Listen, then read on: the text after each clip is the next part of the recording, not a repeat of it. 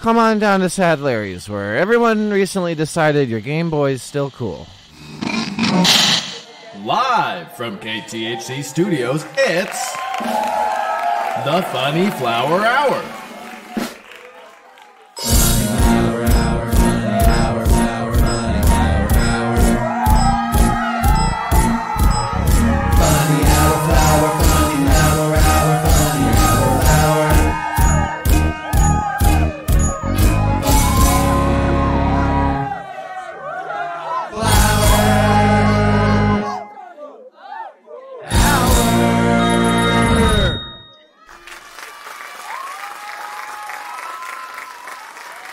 And here's your host, Sergeant Sunflower. It's the last show of the whole year. What are we supposed to tell him? I don't know, man. I wasn't the one who. I didn't lose it. Oh, I'm not trying to.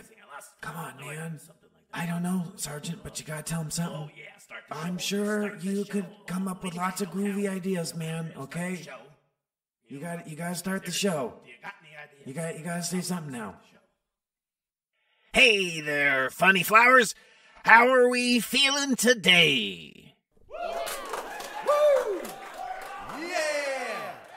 It's December 1st. And you know what that means? It's the Funny Flower Hour season finale Christmas special extravaganza. This is Halloween. Glad the thing never works around here.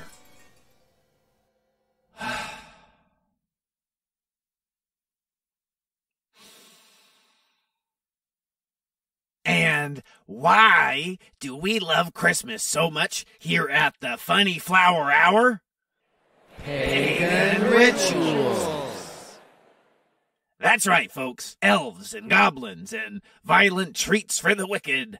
A little something called tradition. And, uh, well, the sergeant here, your old pal, he, uh, seems to have misplaced the money that we were spending on presents for the audience this year.